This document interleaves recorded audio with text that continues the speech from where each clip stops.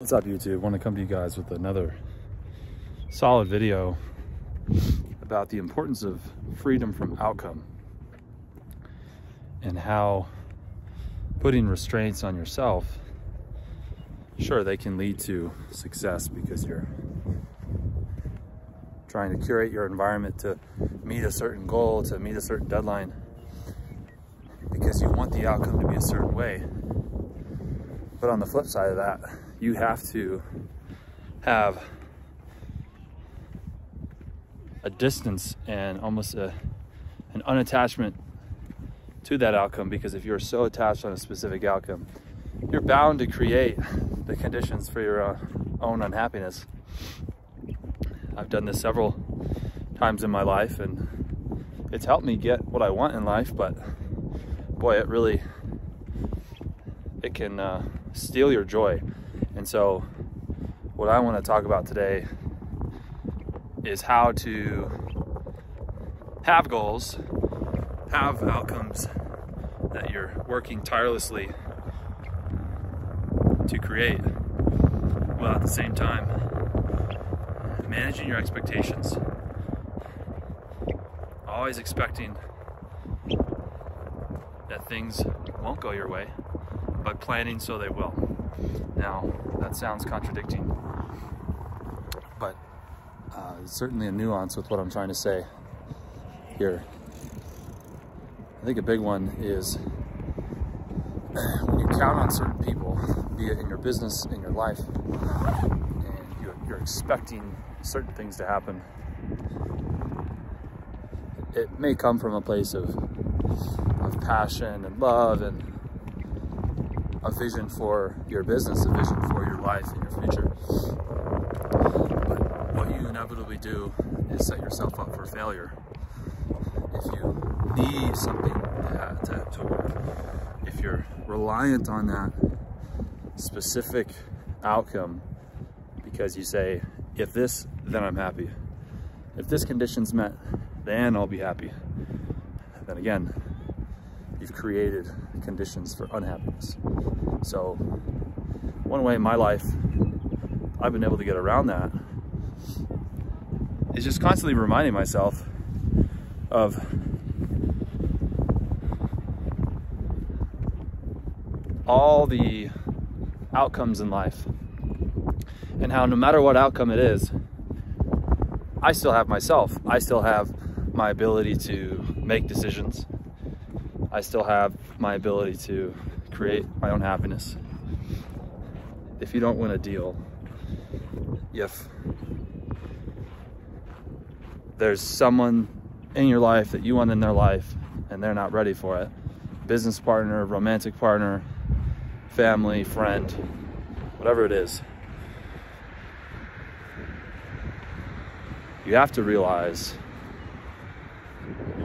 their decisions are not yours. And you literally can only control how you behave as a human, what ideals you stick to.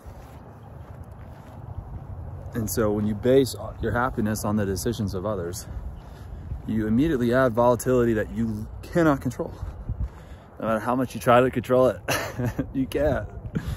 So don't try. don't try it. Focus on what you can control. Focus on being the best version of yourself. I can't stress that enough because I haven't always lived by that. And then you go through stumps where you feel like shit and then you realize I'm feeling like shit for no reason other than my own need to control. When you can let go of that, what is the worst that happens? What's the worst that happens? Think about think about the worst thing that could happen and imagine that happening. Okay. Walk yourself through that situation. You're still there. Nothing bad really happens. It's just your perception of it. So the conditions of your life, you should focus on what are your conditions for your life? What are your conditions for your happiness? And do they revolve around one specific outcome one specific person, one specific deal? Or are you well-rounded enough to realize there are infinite amount of those? And opportunity is infinite. When we operate from a frame of lack, we feel we have to control and protect and dial in because we feel that if this lesson doesn't work, the next one will. If I don't get this opportunity, I won't have the next one. So it's operating from a belief of scarcity that creates those feelings that lead to unhappiness. So when you can work backwards, go up in the, the chain of your belief system, up in your mind, and accept that opportunity is infinite. There are endless amounts that you are privy to, that belong to you. You just have to walk through those doors. If you can accept that, then any one outcome is not really that important. So where in your life are you doing that? How is it affecting your state? Is it sucking your energy? Is it giving you energy? Are those outcomes that you're hoping to have happen tearing you apart or giving you energy? And I can say from experience when I've shifted my focus, I'm being the best version of myself and taking all of the focus off of the decisions of others and, and really gotten serious about my decisions, about how I'm showing up for people. All of the stress goes away, just falls away. So I wanted to make this video because I think in business, when you're a passionate person and anyone watching these and watching all of them, you are the person I'm trying to connect with here. The person who's trying to build their business, trying to do something that's never been done. Or going for something you've never gone for. If that's you, then your whole world is focused on goals and achieving those goals. So for someone like yourself, you need to love that about yourself. Love that you want a specific life. You want a specific outcome. You want a specific relationship. You want a specific type of money, a type of car, a type of access to things. Love that about yourself, but at the same time, love how much you get to focus on yourself. You get to focus on the habits and the processes required to get there. If I see myself falling off of daily habits I have, I notice immediately how everything else in my life becomes affected. Everything else. It's not bullshit. It's truly the way it works. One one decision or indecision creates an entire chain of reactions that then affect your business performance, your, your performance as a partner, emotionally, as a friend, as a as, as a leader, as someone who people look up to. And if you don't get that shit figured out, everyone's gonna experience it and then you're to wonder why certain relationships or certain goals are not being met because it's stemming all from you not taking those little things seriously. So what daily practices can you do stay on that path? And for me, I'd say if I don't take five to 10 minutes every morning to completely clear my mind and think about nothing. Just feel my breath and realize I'm a human being on a rock spinning in space and that my life, the grand scheme of things, is just a small little speck out of the infinity of time. If I don't do that, I get so caught up in my problems that I forget how blessed I am to be a fucking human being. living in this modern era. So that leads into gratitude. Like if I'm not reminding myself why I'm doing what I'm doing, then it becomes a chore, and then then you start to detest work because it's you you're not tying it to the beauty of why you got into it in the first place. You're not tying it to the spirituality of growth and of seeing the progress happen in front of you. So you always need to be connecting your current actions with the beauty of this future you're building for yourself. So that's what I do. I write down, I, I, I write as if I've already achieved the things working towards. Because the, the less distance you can put between yourself and your goals,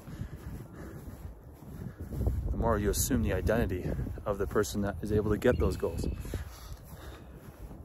So if you want to be a millionaire, you have to describe yourself as a millionaire already. You have to know what that feels like. You have to experience what that feels like in your current experience. You have to use your imagination. Instead of using fear, which is false expectations appearing real. Instead of using your imagination to promote fear and essentially think about all these fucking things that don't end up happening, you need to take advantage of your imagination and think about all the things you want to happen. Think about all the things you're going to have in your life, how it's going to feel when you're able to take a loved one on a trip, how it's to feel when you walk into the dealership and get the car you want, how it's to feel when you buy your own fucking house, how it's to feel when you're able to travel anywhere in the world, buy anything you want. Like, what does that feel like? And let that childlike innocence carry you into those things happening. And so each morning, get a Pinterest board, you know, get all the images of what you want and put it on that board and consume that board. Because our attention is the most powerful thing we have as human beings. Our imagination is the most powerful thing we have as human beings. And so you should harness that.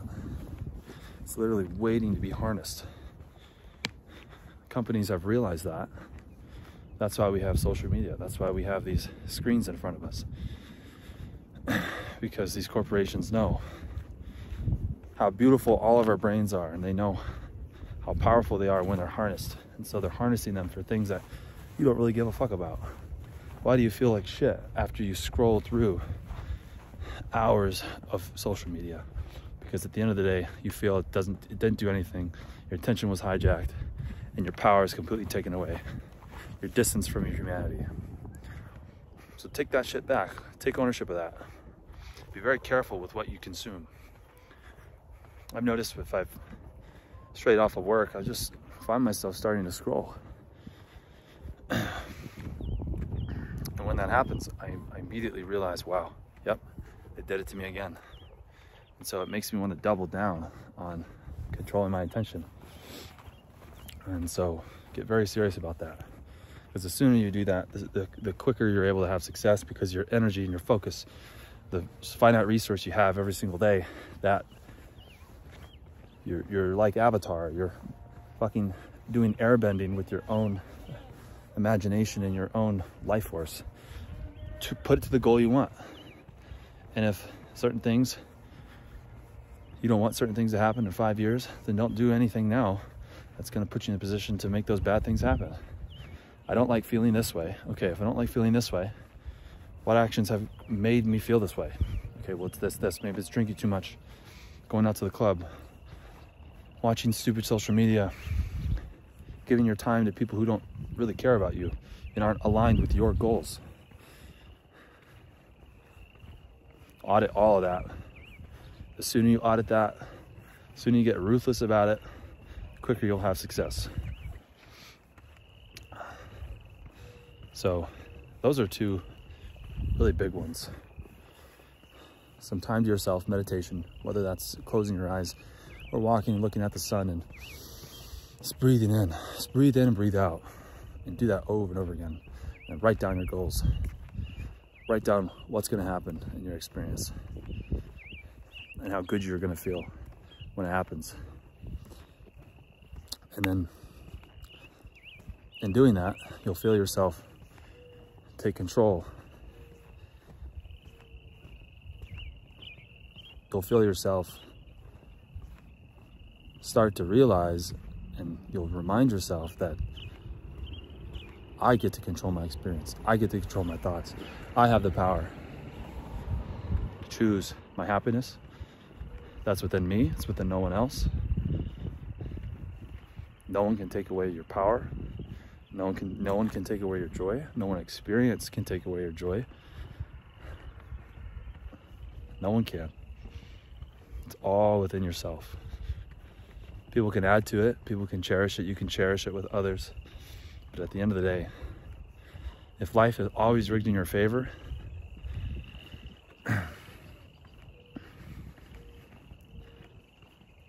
what that means is you have you get to choose what perspective you want. You want to assess situations negatively or do you want to assess them positively? Do you want to view things as scarce resources or do you want to view things as abundant resources that you get the ability to discover in your life? So I hope this has been helpful. I feel it's my duty to make content like this because for whoever's listening, this stuff works. It's worked in my life, and I know you guys come on this journey with me and continue, my goal is to con continuously provide that value of whatever works for me, where I'm fucking up, and how my fuck ups can help you not fuck up. And that that's what brings me a lot of fulfillment nowadays. So there you have it. Take it easy. Always remember you create the own conditions for your happiness. It's within yourself. It's it's not within any certain outcome. Every outcome is the best outcome that could have happened because you're the one that gets to think it's the best. It may not be what you wanted initially, but remember, you get to control your happiness. No one else gets to do that. It's all you. So, peace, love.